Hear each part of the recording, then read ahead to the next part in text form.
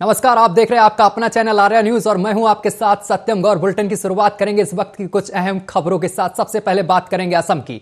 आपको बता दें कि असम में बढ़ते कोरोना के मामलों को देखते हुए मुख्यमंत्री हेमंत बिस्वा शर्मा ने आपको बता दें एक बड़ा फैसला लिया है और इस आदेश के मुताबिक जनता एक ज़िले से दूसरे ज़िले में यात्रा नहीं कर सकेगी। आज से अगले पंद्रह दिन तक के अंतर ये यात्रा स्थगित करी जाएगी। आपको बता दें कि राज्य में कोविड 19 के बढ़ते मामलों को देखते हुए ये अहम फैसला सरकार ने लिया है, जिसमें पंद्रह दिन तक यात्रा पर सख्ती करने के यहाँ पर फैसला लिया गया है। असम राज्य आपदा प्रबंधन प्राधिकरण की ओर से जारी बयान के मुताबिक आपको बता दें, बिना रोक टोक के अंदर जिला यात्रा की यहाँ पर वजह से राज्य में कोविड के मामले में गिरावट दर्ज नहीं की जा रही थी। राज्य सरकार की ओर से जारी आदेश के मुताबिक मेडिकल इमरजेंसी किसी की अंतिम शव यात्रा और क्षेत्राधिकारी उपायुक्त की लिखित मंजूरी के बाद ही अंदर जिला यात्रा शुरू की जाएगी। और साथ ही आपको बता दें कि राज्य में कोरोना के मामलों पर नियंत्रण रखने और संक्रमण को फैलने से रोकने के लिए मुख्यमंत्री हिमंत विश्वा शर्मा ने नए शक्तियों और संक्रमण रोकने के लिए नए उपाय लागू कर दिए हैं और ये तेरह मई से लागू हैं। आपको बता दें राज्य सरकार की ओर से जारी आदेश के मुताबिक सभी दुकानें और व्यावसायिक प्रतिष्ठान हर दिन दोपहर एक बजे बंद हो जाएँगे।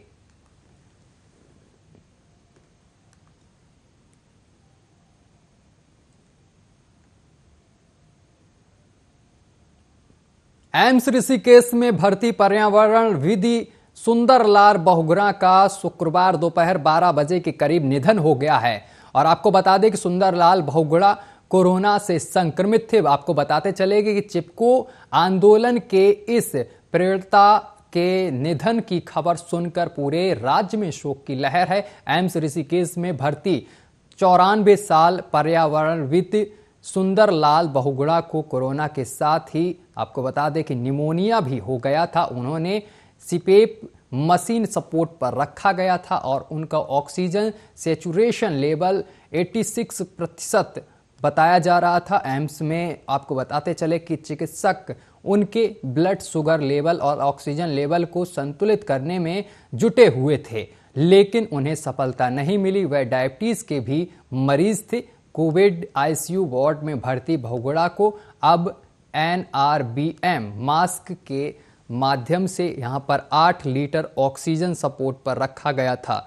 संस्थान के चिकित्सकों की टीम उनके स्वास्थ्य की लगातार निगरानी व उपचार में जुटी हुई थी, लेकिन उनको बचाया नहीं जा सका। उनका अब निधन हो गया है।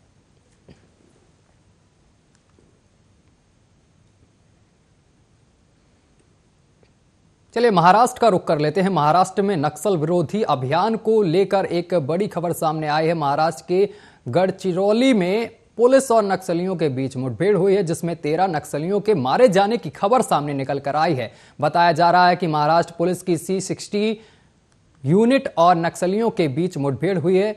गढ़चिरौली के डीआईजी संदीप पटेल ने यहाँ पर इसकी पूरी जानकारी दी है।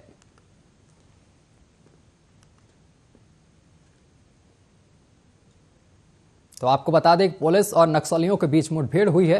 इसमें कई नक्सली मारे जाने की खबर सामने निकल कर आई है। गढ़चिरौली के जंगलों में ये आपको बता दें कि मुठभेड़ हुई है। पुलिस और नक्सलियों के बीच मुठभेड़ में तेरह नक्सली ढेर हुए हैं। बड़ी और अहम खबर आपको बता रहे हैं, बड़ी सफलता हाथ लगी है। यहाँ पर नक्सलियों को मार गिराया गया है और जंगलों में ये मुठभेड़ हुई है, जिसमें तेरह नक्सली मारे गए हैं। बड़ी और अहम खबर आपको बता रहे हैं, पुलिस और नक्सलियों के बीच मुठभेड़ हुई है, जिसमें आपको बता दें कि तेरह नक्सली यहाँ पर मार गिराए गए हैं। गुड़चरौली के जंगलों में यह मुठभेड़ हुई है।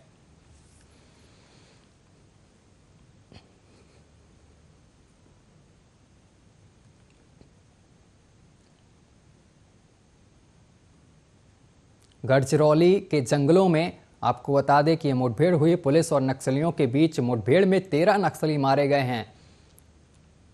और इस दौरान आपको बता दें कि पुलिस कर्मी यहाँ पर फायरिंग करते हुए नज़र आए हैं। पुलिस कर्मियों ने इन तेरह नक्सलियों को मार गिराया है। आपको बता दें कि इस दौरान दोनों तरफ़ से फायरिंग हुई आमने सामने, जिसमें जाबाज सिपाहियों ने तेरह नक्सलियों को ढेर कर दिया।